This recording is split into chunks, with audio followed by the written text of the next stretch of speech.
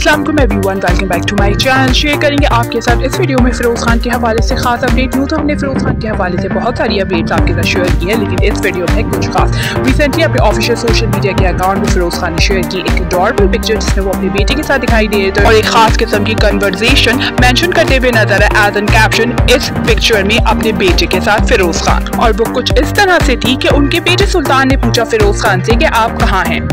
जिसमें फिरोज खान जवाब देते हुए नज़र आए मैं बुरे लोगों के साथ लड़ाई में पड़ गया। जिसपे सुल्तान कहते हुए नज़र आए मुझे दिखाएँ कि आप ठीक हैं।